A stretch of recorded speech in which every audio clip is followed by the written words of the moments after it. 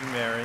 Um, I'm happy to be here today. Um, I'm going to dip into the science. I'm sure you heard some wonderful science about adult brain development yesterday from Christian, who's a world expert actually on the empathetic brain.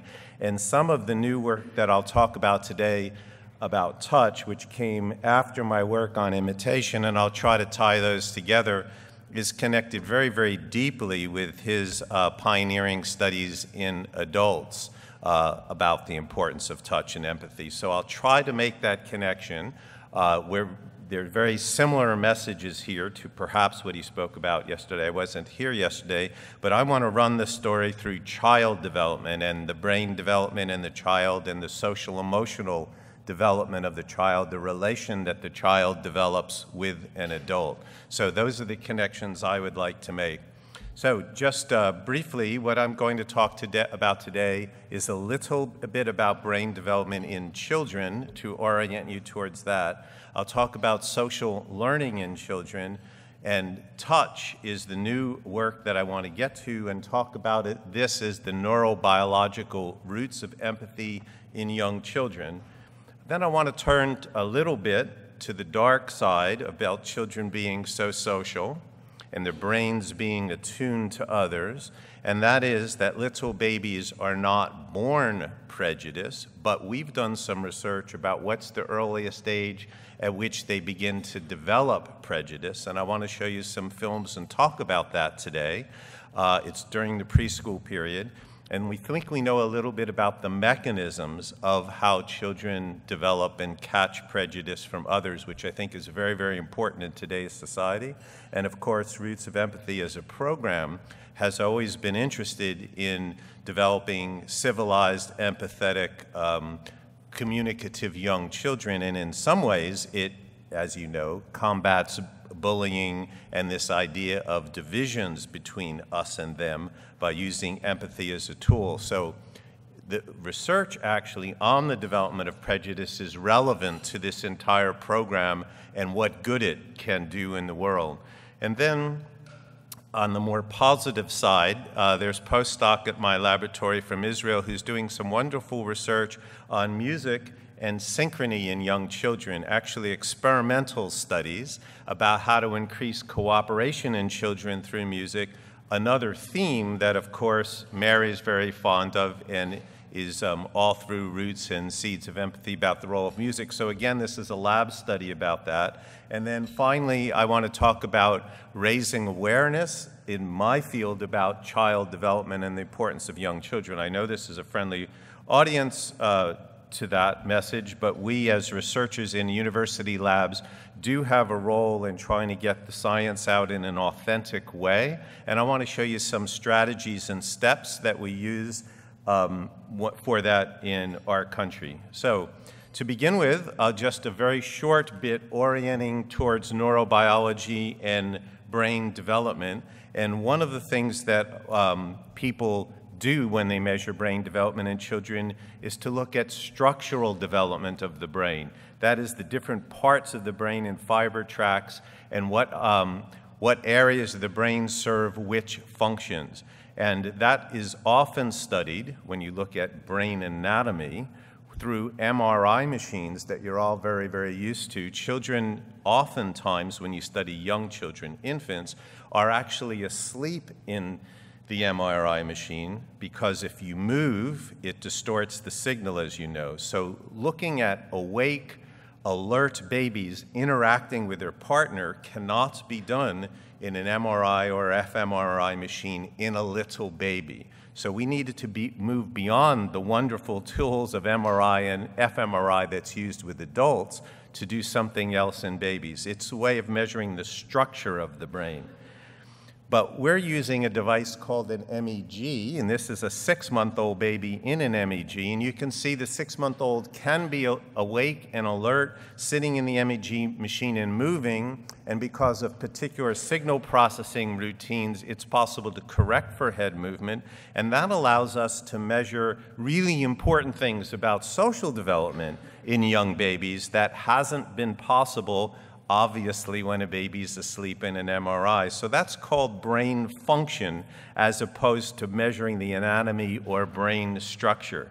And the last thing you see on this slide is, of course, we, as all of you in, in the room, once, you, once the science is in and you've done some science, it's important to try to use this to help families. We're doing it by getting the message out. I know wrote the Roots of Empathy program and the Seeds of Empathy program is doing it by helping children and families and governments to see the importance of empathy. And so I want to sh share with you what we're doing to get that uh, message out.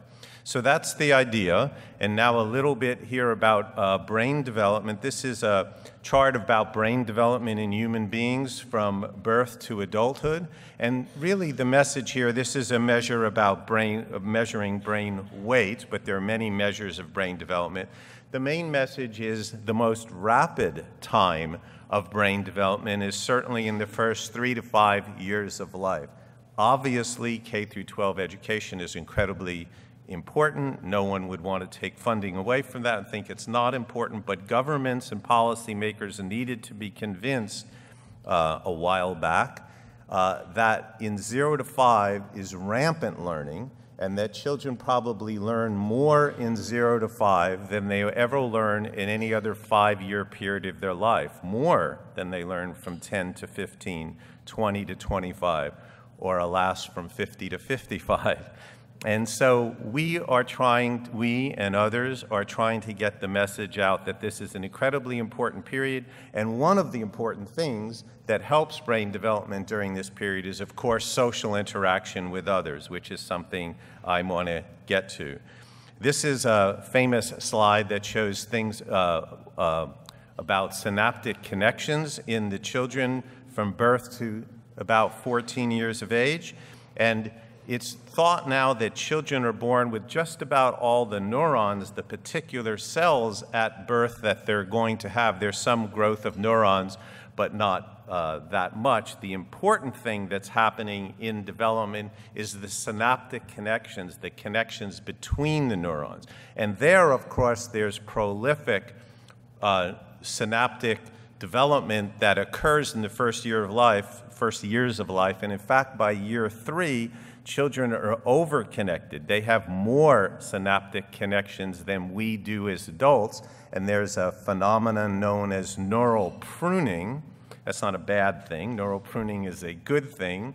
What happens is the child's uh, neural connections get tuned, pruned, and shaped in part, some of that happens maturationally, but in part because of the social and physical environment that they live in, the stimulation that they have and then they become, uh, it's, it's pruned down by about 14 years of age, and there's uh, more crystallization about what that child, the, the standing connections that are in that child's brain. Of course, all through life, as you learn, as you develop, as you heard Christian's lecture yesterday, you develop new, new neural synapses. You didn't develop no, new neurons based on his talk, but you probably made new neural connections. So connecting in the social world between people is what it's about.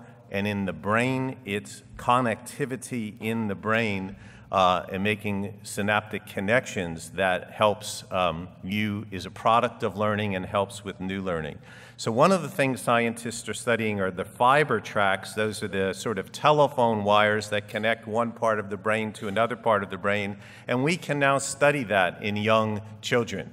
And that's very, very exciting because we can look at the connectivity in the children's brain. Uh, Mary is fond of saying that love grows brains. She said that before it was true. No, she said it before scientists knew that it was true.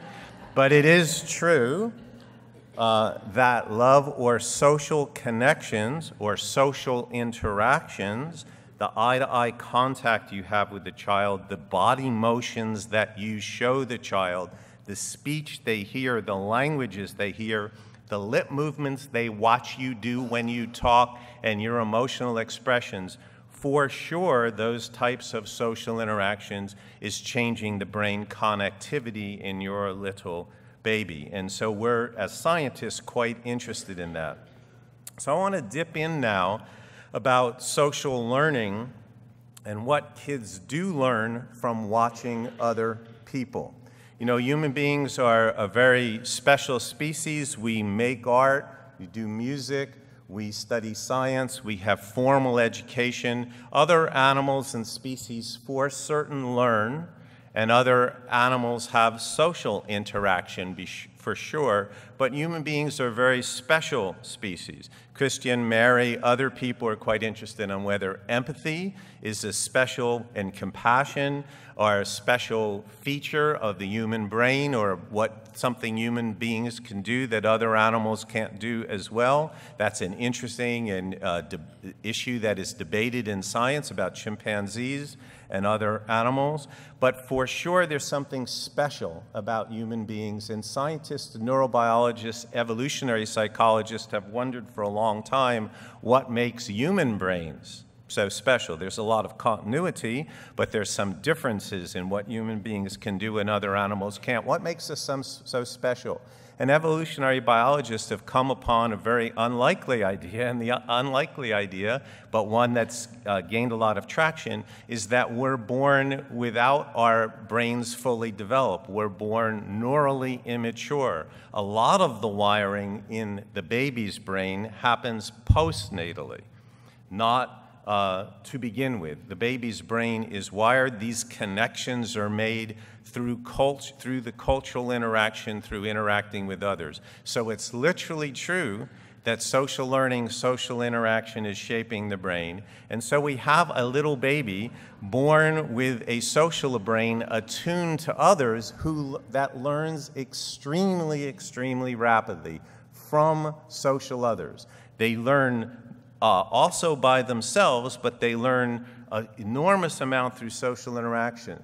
So there are several uh, theories about child development and ways that we know children develop, and I want to emphasize the social learning. Let me just go through just a, a few theories here. You know, there's reinforcement learning that Skinner was famous for, and that idea was that human children learn chiefly by patterns of reward and punishment. And while it's true that babies do learn from, through reward and punishment, they learn so much more through other mechanisms. If you think about it, the little child, um, you know, take a, a two-year-old is copying what you do, picking up a cell phone and wanting to talk in it, typing on your computer keys. It's not that they learn those things through reward and punishment, because often they're learning things even though the parent is saying, don't uh, touch my keyboard and my precious word processing. Honey, don't do that. And the child wants to do it anyway. And so, although many animals, I, have learned not to criticize dogs in talks like this, but it's early in the morning and I'm going to slip up and make that mistake. Um, if you want to train a dog, you do, which is a very intelligent and loving animal. Let me get that message in but not a baby. And, and it's really important to understand some of the things that makes the difference. And here's some of the things that make a difference. If you want to teach a dog to sit, you, you have treats in your pocket and, and you say the word sit is a cue. The dog doesn't know what it means, but if it moves a little bit, you reward the dog. You say sit again and reward the dog, and you do what's called shaping up the dog to sit to that cue. Now that's reward and punishment. And Skinner discovered you can use reward and punishment to train rats, you can use them to train dogs, and you really have to do it. But that's not how you walk around training your little baby. You don't have food in your pocket or a bottle of milk and put it in the baby's mouth and give the baby a squirt of milk every time they do something you want to. That's not what's happening. Babies learn through a different mechanism. So, what's a different mechanism? A second theory had to do with maturation of the brain and maturation of motor behavior. And this was on the idea that most of the uh, patterns of behavior that a child's going to come on to, come uh, to do, was built into the brain and unfolded on a maturational time schedule. And again, on many animals, that's true. If you have mountain goats, mountain goats are born, and very soon after they're born, minutes after they're born, get up and can climb up a mountain. It's amazing. They're born with certain motor routines that are there to begin with. But our red, wrinkly little newborn baby at birth is not born that way. They don't have the same adult skills that we have.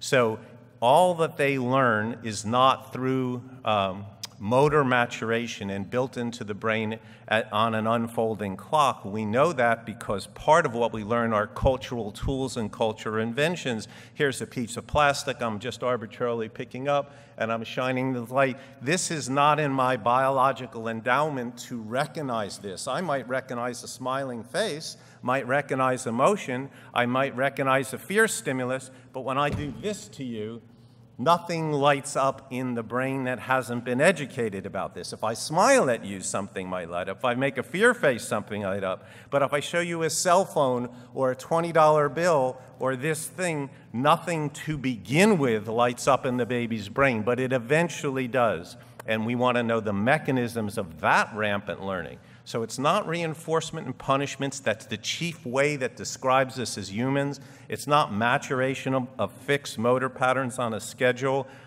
Piaget had a third theory, the third theory that there was stage development theory, and that he talked about, and Piaget was a great, great pioneer, genius in my field in developmental psychology.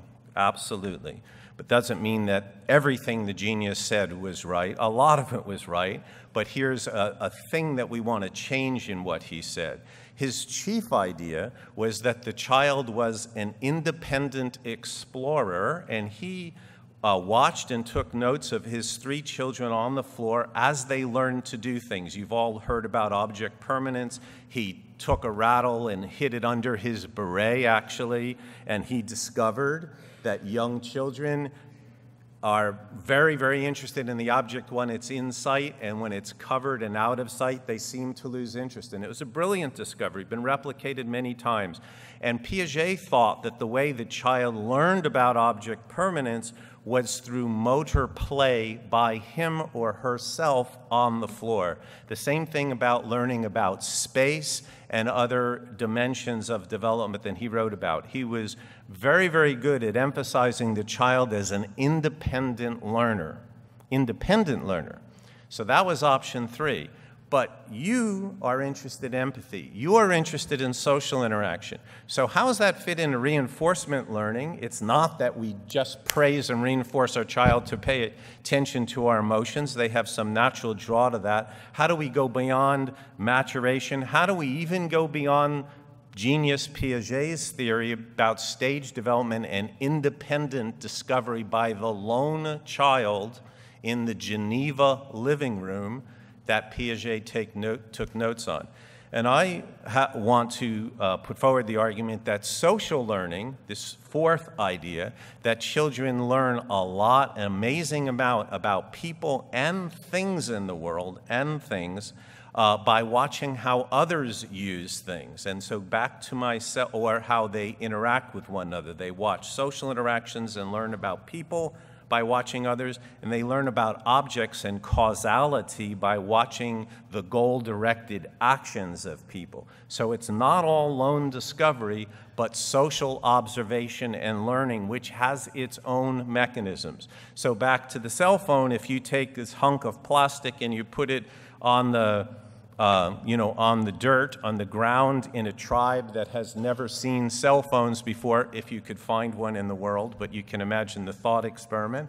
If you put that hunk of, of plastic on the dirt floor, Little children who had never seen an adult use a cell phone would not know what to do with it. But if you, in Seattle, in my lab, and you do experiments as we do, of take a cell phone and put it on the floor with a bunch of other objects, you see little children run over to the cell phone, pick it up, and even hold it to the ear. They don't take the cell phone and put it on their belly they hold their cell phone to the ear, that's not because the mother has reinforced them to do it. It's not because the maturation of motor systems that has when you see that cell phone goes, mm, right? Maybe if I make a fear face at you, there's that reaction, but not to cell phones. Yet, little babies, we have a film of a two and a half year old baby picking up a cell phone on our floor and acting in the way she thought was adult. She, I don't think she knew what she was saying. She picked up the cell phone and said, Hi, can't hear you, can't hear you. You're aching up, you're aching up. And so I don't think she knew what she was saying about your breaking up. She thinks you just hold these things to your and say, You're aching up, you're aching up. And she walked around acting like she sees others act. That is social learning. It's not only social learning about inter- interpersonal relations, which we're interested in, but learning about objects. So, our kids use us as role models, and we're role models not just for our teenagers, not just for our third grade kids, but I would like to argue that we're role models even in preschool to the two and three year olds and even to our infants. This is a child in Africa who's an 11 year old child who, in his culture, instead of holding cell phones to the ears, adults hold machetes. And it turns out cultures differ. In this culture, letting your child have a machete when he or she is young is something you can do. They learn to use it. The important thing here is not about safety and what our culture thinks of this practice. The kids are perfectly safe. The important thing is that when this child sees that tool, the child runs over to picks up the tool and uses it we put, the child knows to put cell phones to his or her ear. This child knows to put the machete to the fruit. That's what the child knows. Probably not by reward and punishment, not by maturation, not by independent discovery did this just waft into the child's brain, but by social learning. So, social learning is an incredible, powerful tool. Uh, it's related to imitation. That's what I have spent part of my life uh, dedicated to looking at. And we've looked at very young children and the rampant social learning that happens in the first few years of life. So I have a very short film here. It's 30 second film, and I just wanted to share it with you. It shows young babies in my laboratory. Alan Alda is a movie star who from Hollywood that you probably saw on MASH. He came up to do a sort of Nova type show in our lab, and I just want to show you this child in the laboratory. Here she's looking up at us.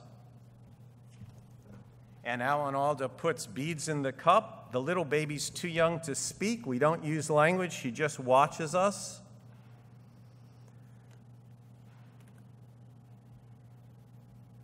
Emotion. She's happy at what she did, but on first try, she did it by observation. I take a camping cup, I do something odd, turn it over, squash it looks at the object, looks at the person, looks at the object. And then she does the right imitation. We're going to talk about the powerful mechanism of imitation. Alan Alda pulls apart a toy we built in our lab. She looks at the person, the object, the person, interpersonal relations. Good pop, he says. And then I asked the movie star to do a completely novel event that this child hadn't seen before, and he touches his head to this object she looks wide eyed at this. Do you want to turn? And she does the action. So, this is two things. One, option four, social learning, is hugely important to human beings. Option four. That's one of the things that's important. And we've studied behavioral development for many years. A second thing that's interesting that Christian perhaps talked about yesterday that I've been fascinated about is what is the neural basis that would allow the little human brain to be the most prolific young uh, learner on the planet. Human beings learn by imitation first prior to language, and they learn more prolifically by imitation than any other species. Other species may be able to imitate particular actions, but human babies are imitative generalists. They can imitate action, they can imitate sounds, they can imitate actions on objects, they can imitate pure bodily actions without acting in a goal directed way on objects. We are imitative generalists, and we have a brain that prepares us to do it that I want to talk about um, very soon. Before I get to that, this is the picture that Mary mentioned, 1977 uh, research that we did that we happened with two and three week old babies, and then subsequently went into the laboratory in, uh, sorry, in the newborn nursery, and we were able to show that newborn babies imitate. And the youngest baby I tested in this uh, newborn imitation work was 42 minutes old at the time of birth. The mother uh, had, had several children before, and I was telling her about the importance of finding out whether this is something that human beings could do, whether they were born learning. And she said, Well, Dr. Meltzoff, why don't you just come in and you can witness the whole birth, and I, you can be your first one to stick out your tongue at my young baby. And so we have a film of the baby when the baby was 42 minutes old, had never seen anybody on the planet pick, poke out its tongue, his tongue at her before. She hadn't seen a tongue come out. She looked into my eyes and then began to tongue protrude in response. This was a really important emotional moment to me when you're sitting face to face with a young baby and you know this is the first, you know the reinforcement, the external reinforcement history of this child, and you know this baby hasn't been trained to do it. The fact that there's that interpersonal connection that they can map from another person to themselves is profoundly moving, and it's moving in a way that mothers, in fact, experience in the next weeks and months of life. So I wrote a paper called Like Me. It was a Like Me developmental, social developmental theory that ties together some of these things that I said about three chief theories about, about human development and arguing that social learning and imitation was fundamentally important and had been missed more than it should have been missed in developmental theory. And I argued that children, right from beginning, are processing movements that they see in the world as being like me, that they can observe certain patterns and recognize that they can be mapped onto their own body movements. And that connectivity at the level of the body encoding actions they see out there in terms of their own action is fundamentally important for social development. And that's something that, since the discovery of early imitation, 1977, we've been trying to argue in the developmental literature. And thanks to Christian's work and others, there's now work in neurobiology that can help support that. So let me go a little bit to the brain basis of imitation. As I said, I'm going to get to studies um, further that have to do with empathy development, touch, prejudice. Uh, have some time here, so I'm going to go through some studies on brain basis of imitation. We've done many studies. There's some three of them are listed in the bottom where we did EEG on the babies which is a way of measuring brain signals, and we could show the baby's actions or have them imitate the actions, and this is 14 month old babies. In doing this study, we measure that's something called mu rhythm, a particular rhythm of the brain. And mu rhythm is by theory and by studies of adults thought to be measurable more in the central regions of the brain than the other regions of the brain when the babies execute or observe actions. So the central region of the brain is just as it sounds. It's just the central region that a strip of tissue that, let's say, goes um, from ear to ear in the central part of your brain. And the prediction is that there's going to be a decrease in mu rhythm. In this case, the signal is a decrease. It's not an increase, it's a decrease. The theory based on adults is that there'll be a decrease in mu rhythm in the central area of the brain. And so we did a study with these 14 month olds, and that's exactly what we found in this paper. We used EEG, and we found a highly significant decrease in mu rhythm when they performed this action. Um, with, with a stick of watching somebody else push a button or they perform the action. When they executed the action, we found a decrease in mu rhythm. And then the important thing is when the babies just sat still and they saw somebody do this action, they just observed it, we found also a significant decrease in the central area where we would expect a mu rhythm. So this was our first clue with pre-verbal 14-month-olds on the type of studies that you heard about yesterday, connecting self and other, something about the neurobiology of imitation. Then we did a social interaction experiment. This is still a lab experiment. I know it's sort of dry science compared to you're out in the world saving children one child at a time, but let me get to that. I'm building up slowly in a scientific way. We did a social interaction study when the child had EEG on in the same way, and here we had an object in front of the child. The child did an action, and we, by experimental design, either had the adult copy the baby, imitate what the baby was doing, or purposely mismatch what the baby was doing. So it was an experiment. And the really fascinating thing we found is more signal in the central area of the baby's brain when there was a match, when the adult interacting with the baby imitated what the baby did back rather than um, non imitate. And this is important because imitating babies before they have language is a chief way of communicating with babies. You, you know, if you see a baby shake a rattle or bang a toy, they may bang, and you'd lean forward and you'd say, Hi, honey, do you want to bang the rattle? Do you want to bang the rattle? And you quite naturally do the same thing back. Um, often, therapists tell you that if you want to make sure that your partner knows you're being heard, imitating back what they say is a good thing. So in my case, my wife might come home from work and say, Boy, it was a hard day. I know to say, Honey, it was a hard day. And she thinks I'm being very sensitive what she's saying because I'm imitating back. So imitation tugs at your heart. It also tugs at your brain. Your brain recognizes when the social partner is imitating you rather than mismatching you, matching you. And that happens in the 14 month old brain before you can say, honey, did you have a hard day? You can imitate the baby's actions. The baby's brain instantly recognizes the match as opposed to the mismatch. So, when bodies are in synchrony, brain rhythms change. And this gave us an idea about how to use music and induce synchrony between children that I want to talk about as the last section of this talk, but hold this in mind. So, now to things about the neural origins of empathy in young children.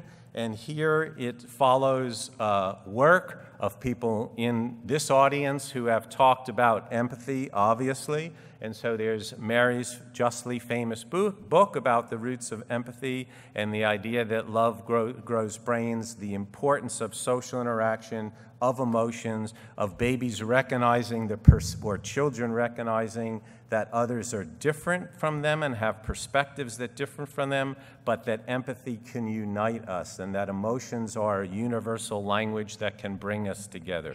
So she has strongly argued this, developed programs that you're involved deeply in, and that Nora in Seattle was involved in, and so forth.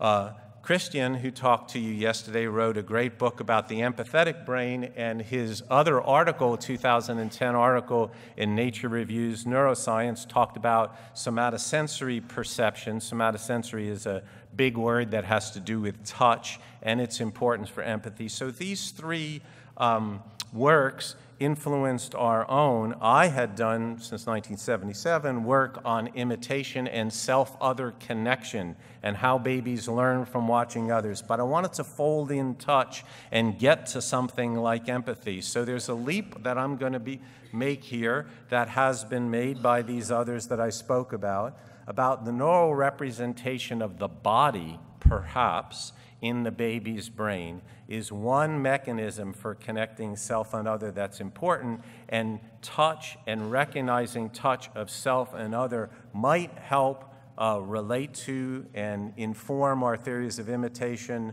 social learning, interpersonal connectivity, and even empathy. So I want to turn now to the importance of touch. Touch is enormously important to human beings. It's important to babies. There is a something like a touch hunger of us wanting to be touched as adults. And babies even have a touch hunger for skin to skin contact. It's incredibly important for attachment relationships, and touch is a mode of communication to young kids.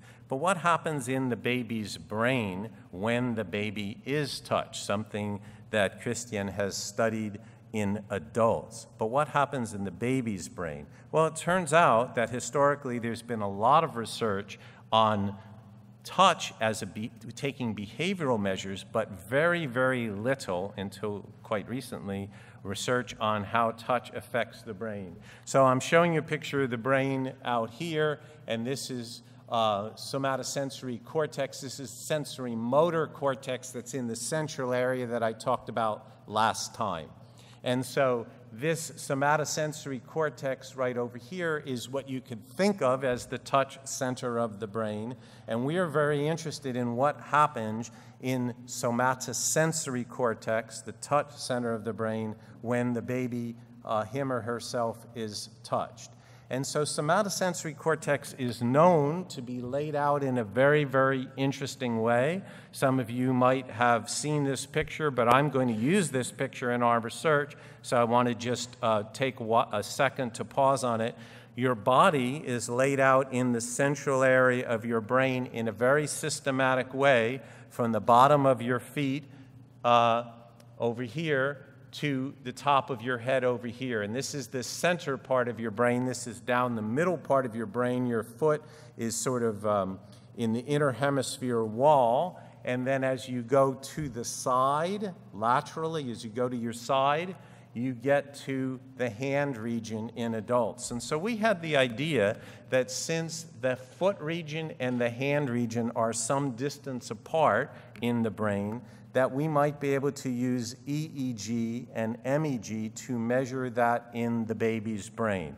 And I want to talk about how we did that and then how that has to do with empathy because it's an interesting story.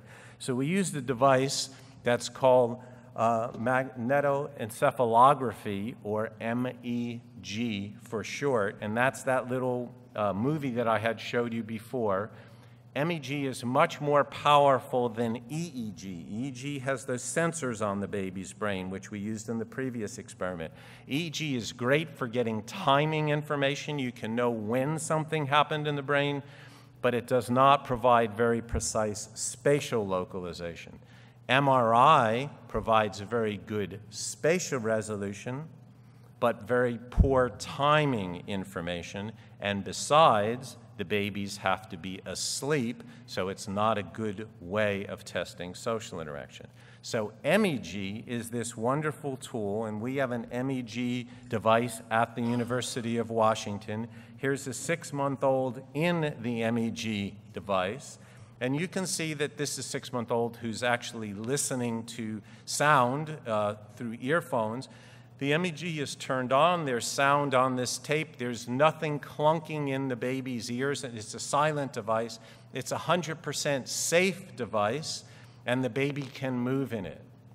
And so this baby can watch social interaction, uh, they can be touched by an adult, you can smile at the baby and see in at the millisecond level what happens at the baby's brain when the baby experiences different emotions. And so we're incredibly excited to have this new tool, an MEG device, at the University of Washington.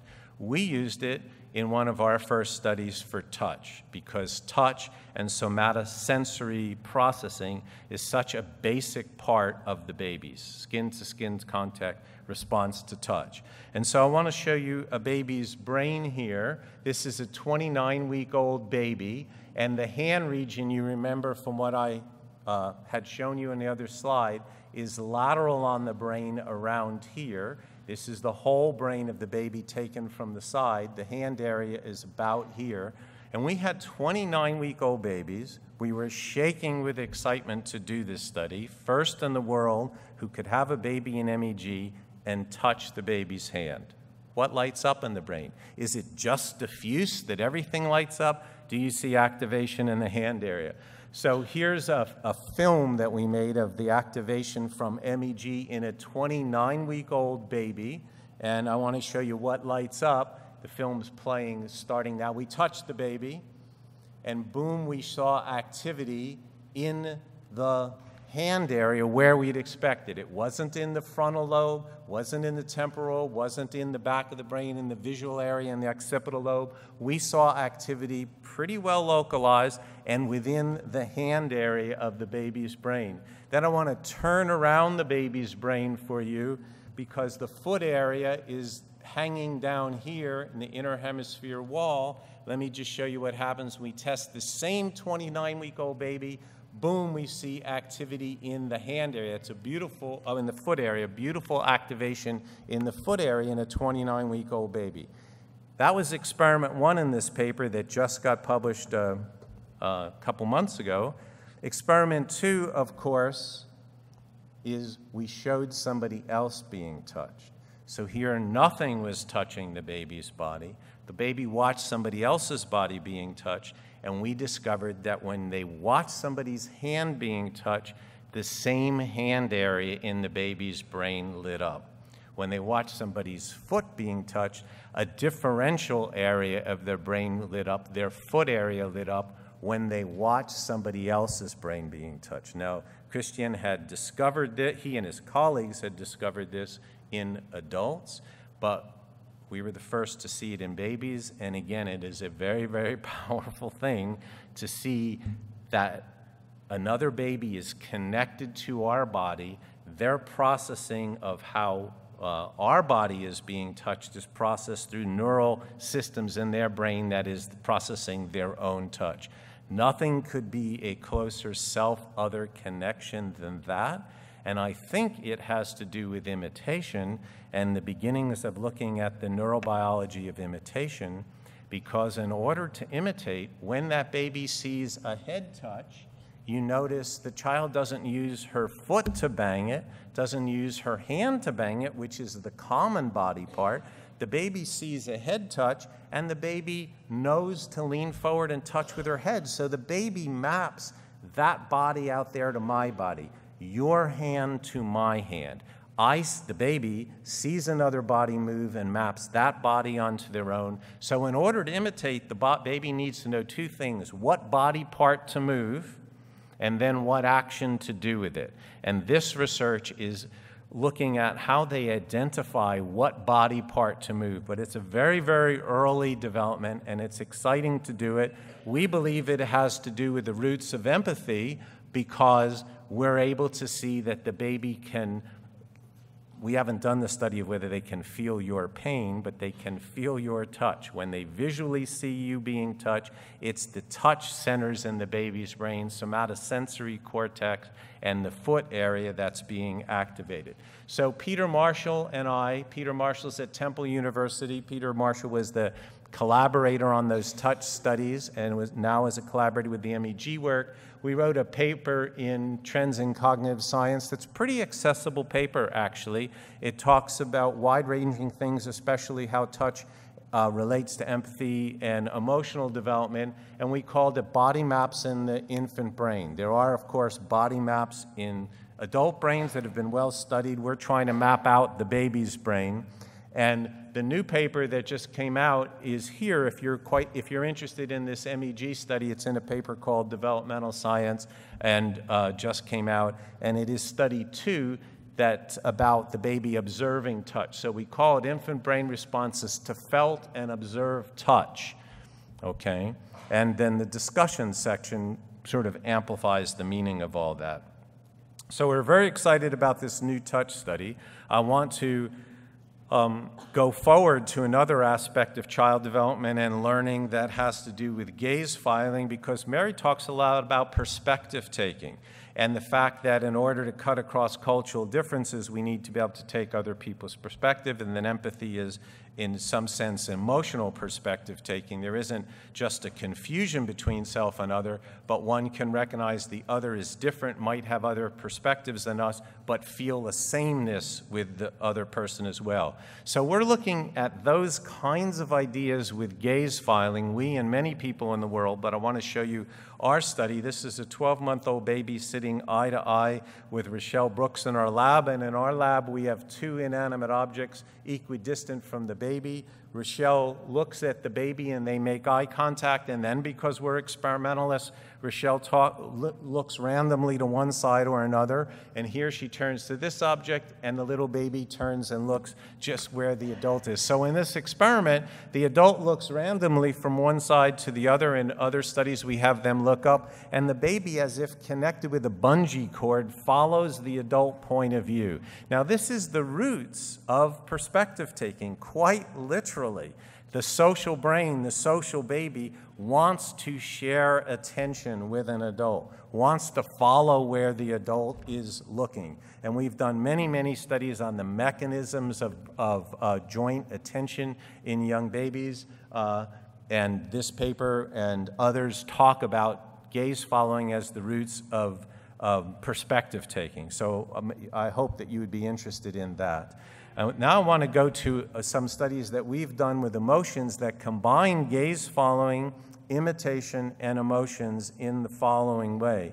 Children don't only have emotions directed at them, they do have that, but they don't only have that, they also do what we call emotional eavesdropping, which is they watch interactions between other people, between mother and father, teacher and sib, two sibs fighting. They watch social interaction out in the world and they can learn from that going back to the first part of my talk, they can learn from that. It doesn't have to always be directed at them. And so we did a study, or many studies, on this series of papers, a big, long research program about emotional eavesdropping called When a Child Eavesdrop on Somebody Else's Social Interaction, What Do They Learn from That? So here's the study that we did. I'm going to show you a little film of it.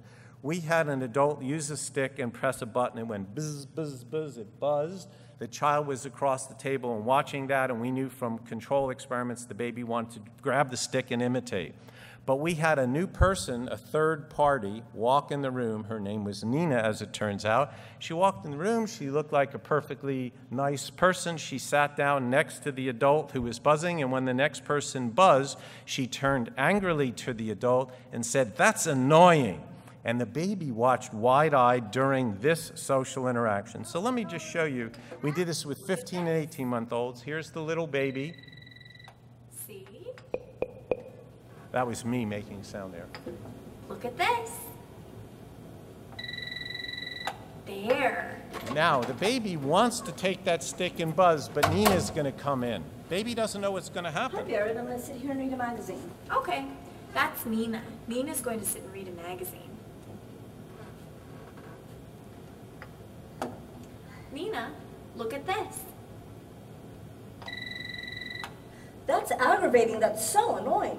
Oh, I thought it was really interesting. Well, that's just your opinion. It's aggravating. So I know that doesn't happen in Toronto, but it happens in Seattle. Babies can watch negative interactions. How does that affect their learning? How does it affect their imitation? Let me show you this baby when given the stick. After watching the adult get angry, the adult now has a neutral face, but she's watching the baby. Here. Oops.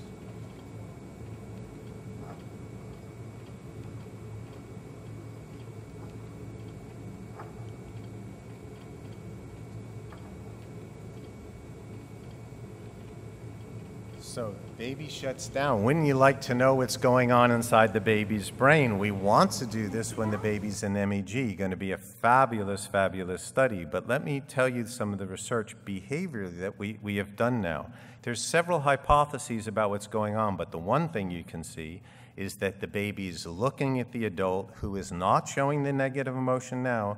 The baby has in memory that that adult had gotten angry when this person pressed this button with the stick, she's not going to do it. But what's the mechanism mediating that? There's several of them. One of it could be that the baby saw the negative emotion and just got frightened or upset because there was negativity in the room. We think babies are doing something more sophisticated than that, but we're scientists, so we wanted to test it. And the way we tested that is we had Nina come in the room, watch, and get just as angry, did exactly the same thing when the button was pushed, and then Nina got up from the table and walked away and left the room And the baby looked at the room to see Nina was gone, grabbed the stick, and did buzzing. so it isn't, it isn't just contagion that the baby saw negativity and the baby's entire system shut down. That was possible, but that's not it because there was just as much anger in the room. Then there's Descartes' famous mind body problem. Instead of having Nina's body gone, we left Nina in the room. She got just as angry. And then before the baby was given the stick, Nina turned around so she couldn't watch the baby. The baby looked at Nina, turned around, and did the action. Then we had Nina face the adult, uh, face the child. Nina got as angry was angry, and then Nina picked up a book and started reading the book. The baby picked up the stick, bent down to see that Nina was looking at the book, and then pressed the button. So it turns out it's not just anger in the room, it's not just that the angry person is present, it's that the previously angry person who didn't who got angry at somebody doing this action is now watching me. That angry person is watching me. I have the stick. I better not do that action. She got angry at that person. She's probably going to angry at me. I am like that person. This is the like me idea. She got angry at her. She's going to get angry at me. So this is an amazing social calculation that the child's doing, but notice that it's social learning. Notice that the baby is learning as a third party observer to other people's social interactions. So this multiplies the baby's social and emotional world. Yes, they have a rich internal social world. Yes, when you're in dyadic interaction with them, they can recognize your emotions, they can process the emotions directed to them. But you know what? Because babies have this like me theory, they are watching other social interactions and how you or somebody interacts with somebody else. The baby puts themselves in that adult's shoes and is learning about emotions and is learning about emotional interactions just by what they observe. Now, that's a powerful case of role modeling and the power of social learning. And it means that people want to be quite aware of the interactions that they're having in front of babies, not just two babies. So here are three important points, and then I want to uh, move on. Three important points for this is First, I think the study on emotional eavesdropping has to do with the first kind of instances of self regulation in babies. Babies are able to regulate their own activity. We often think of babies as being impulsive. It's said that babies have no executive control, it's said that they can't regulate their activities. But the 15 month old baby that you could observe in this experiment picks up this stick regulates her activity very, very well. And I proved to you it wasn't just that she was frightened, it wasn't just that the system shut down. She would do the action under some conditions, but not in others, not in the condition that she knew she, you were the center of her attention. So, babies, even as young as 15 month olds, do, so self, do show self regulation in the presence of emotional signals. So, this emotional self regulation this uh, regulation of your actions based on emotions we think is very important. And one of the reasons people had argued we think that babies don't have much self regulation is that they were doing purely cognitive tasks or things about could they inhibit grabbing food, which has survival value for them to get those calories in. You never know when the calories will disappear. So, whether babies can regulate self regulate, have executive function in those situations is different than arguing, different than arguing that the baby brain has no capacity for regulating things based on social signals in the world. They can regulate their activity, their own actions, based on emotions that they see, even when those emotions aren't directed at them. That's pretty sophisticated self regulation. Of course, babies have a lot of development in executive function to go, not arguing otherwise. I'm just putting in a good word for the babies that there is some capacity to regulate their behavior based on emotions they see. Secondly, we've recently done some studies about whether babies make attributions to the person based on the emotions that that person commonly shows. So we as adults um, uh, typecast people, we pigeonhole people. We know, we know that when we see Mary, she's going to bring a smile to our face. She always brings a smile to my face. I was kind of tense when I walked in here this morning. She said, Oh, Andy, good to see you. So, my version of Mary, I have a personality of her as a comforting, communicative, um, compassionate human being. There are other people that when I approach, I think, oh boy, this is going to be a bad day when they walk down the hall. So it is important that we as adults actually keep track of the emotional history that we've had in interacting with one person or another person. Do babies? That's my question. It has never been thought that babies have these emotional files where they're keeping track of what one person's personality is like or how they interact. To make a long story short, we did this study about, um, which is this 2016 paper in developmental psychology, about babies keeping track of people's emotional histories. And basically, a per, if a person, Nina, had gotten angry at an adult for doing an action, even if you give the baby a new toy, if Nina comes in the room babies will not do the new action with the new toy if this previously angry person who has never been angry at that toy is in front of the baby and watching them. The baby thinks, that's a negative person. That's an anger prone person. And it's not just because they shut down and are scared because of these elaborate experiments we do of the angry person could be in the room and leave. They keep track of the emotional history of the person then they register that person is watching me, so I better not do this novel action with the toy because this angry prone person may get angry at me. And the last point I want to make is called hostile attribution uh, bias. There are clinical psychologists who have come up with a very interesting notion that there are some four, five, and six year olds who have hostile attribution of bias. When they meet a new person, they, alas, might think that that person is about ready to do them harm, about ready to interact in a negative way with them. So they have a bias of attributing hostility to people they've not met. The clinical origins of that are not so well known, but it's a syndrome that can be established. And we're now thinking that it comes in part from the observations that these children may have made. It could be that they've had people bully them, act angry at them. That's possible. But even if there hasn't been emotional abuse directed at them, we now think that their third party interactions, observing somebody else being abusive or negatively interacting with another person out there, when they see it, children may develop a hostile attribution environment. That person, the world is a negative place. So we think it's quite important. Um, I'm going to um, move on quickly here to the roots of prejudice. Um, and I think I'm going to just need to move a little more quickly here. So we've done with four and five-year-olds this idea of where do they get bi social bias from. This is an extrapolation from social learning that I've been fascinating with, with. This is sort of the dark side of that.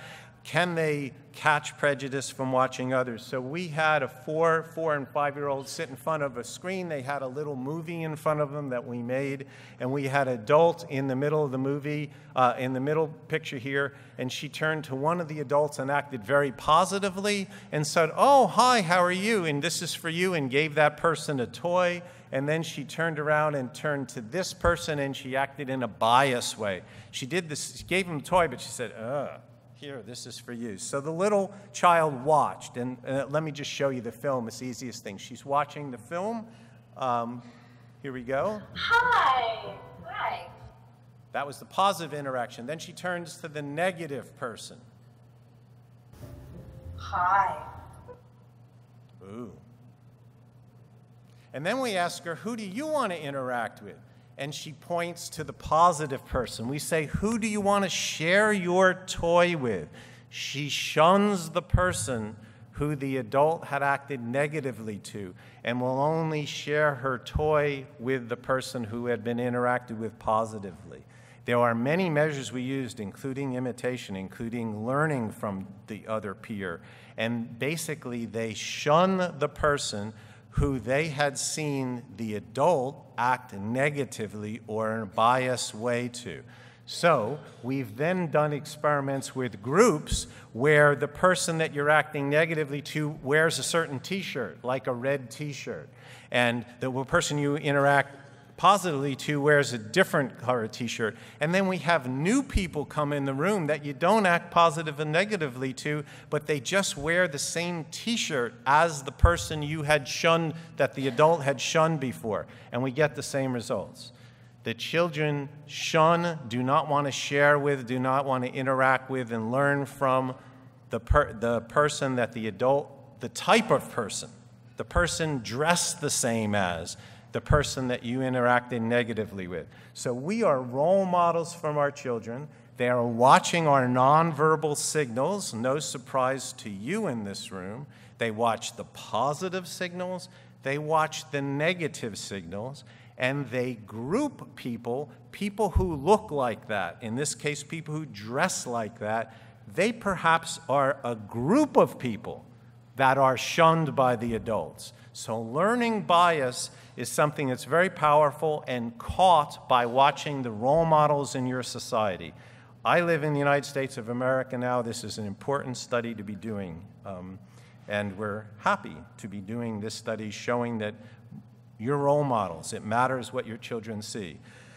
Very, very quickly, because I'm running out of time, this was a new study that we just finished 2000, 2017, and it has to do with music and synchrony, and music is part of the Roots of Empathy, Seeds of Empathy program. Mary has always been fascinated by music, and I think correctly saw that music is a way that connects self and other, and deeply connected to emotion. We're scientists that are interested in that. Here's a famous picture of kids listening to music, marching in synchrony with another. Synchrony is important. I'm a scientist, so my first impulse is to go into the lab. So we did a lab study on synchrony. We built a swing set with the timing of which could be precisely controlled and monitored. And we, either, we took four and a half year old children, same sex dyads. We tested 162 kids, a lot of kids randomly assigned to three groups. One group would be, we, we um, assigned them to the synchrony group, and we had people swing them so the kids moved in perfect synchrony with another. A second independent group of, of same sex dyads, boys and girls, were counterbalanced, but what we had is the swings would be out of synchrony with one another. And then we had a baseline group where they didn't have any synchrony experience at all. And we want to know is, as Mary has been interested in, could you increase empathy and cooperation through experience with synchrony, which music provides, but we wanted to just isolate synchrony. So we did a measure of cooperation, that's a lab measure of cooperation, not of empathy, but of cooperative behavior. And one cooperative behavior is after you moved in synchrony, the kids, or asynchrony or baseline, the kids got off the swing. We said, oh, here we have a game to play. And the game was that if you push these buttons, only if you push the buttons at the same time of one another, you had to cooperate.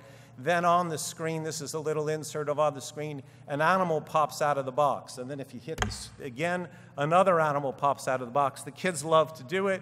What this uh, graph shows is that kids who had been swung, the peers that had been swung, were able to push these th buttons together in a shorter time. They did so much more quickly uh, than the kids who were in asynchrony baseline. So they got better at cooperating. Lower means faster time. Let me show you this, the boys, that's going to happen quickly, where they're in front of the button. They had been swinging synchrony together. Here are the boys. And then it pops up and they laugh. Let me show you again. I see it plays. And it pops up. So that's the game, and there's these series of boxes, and it's very hard for four and a half year olds. They, if they've been out of synchrony, you tell them to press together, they don't know how to do that, and they go, and they're all out of sync. Amazingly, the kids who had an experimental intervention of moving together. Their bodies had moved together in space, now connect synchronously together. We did another task, which was handing something back and forth. This is a really cool task. Here, the child, they would swing together or not, and here, the child, uh, there's a plexiglass um, uh, bar here, here blocking uh, this child from handing the toy directly to this child. So this child has to put this toy underneath and through this hole. And we say, your, your job is to share this toy with this person. Let me just show you what they do. Here's the kids after synchrony.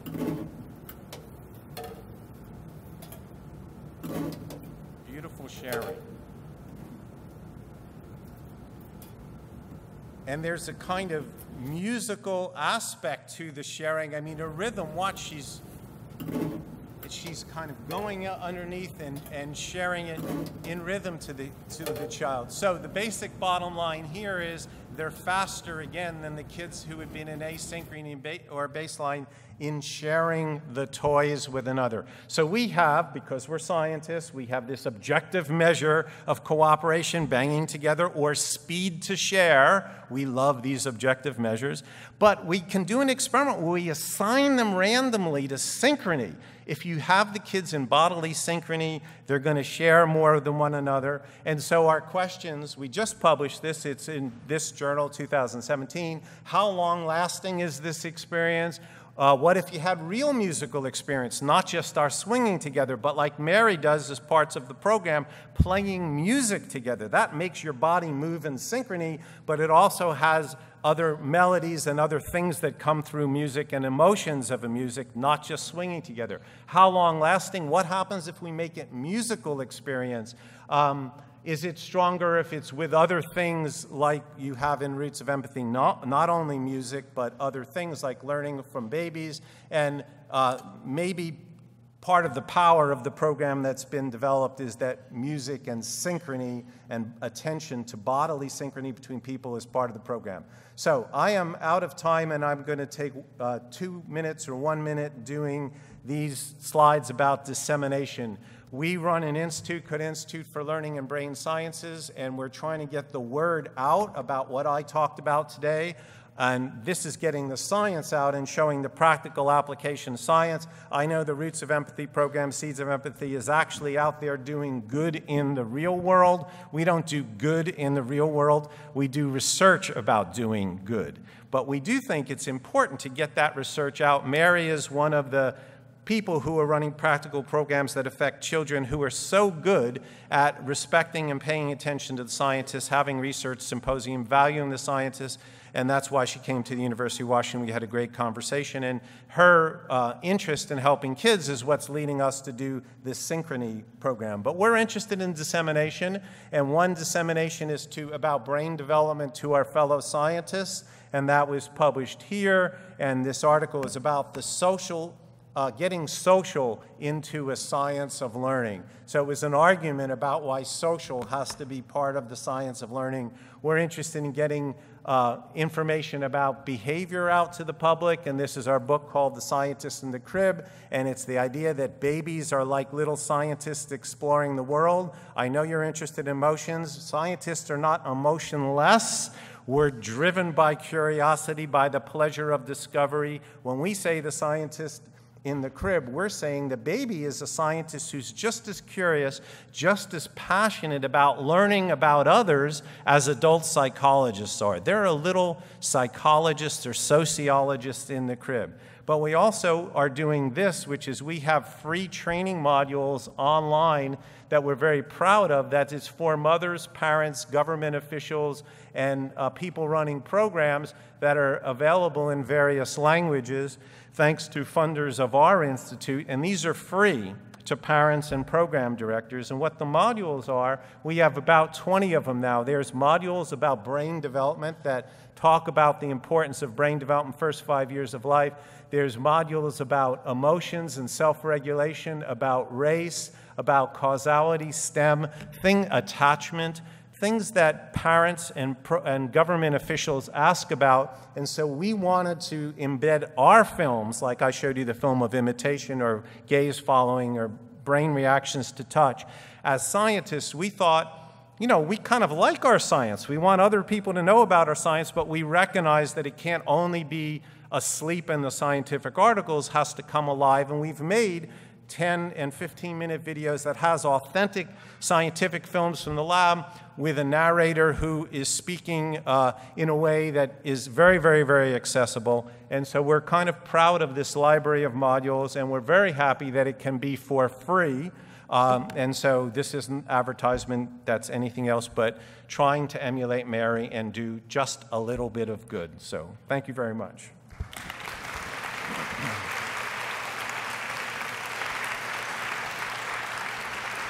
Thanks.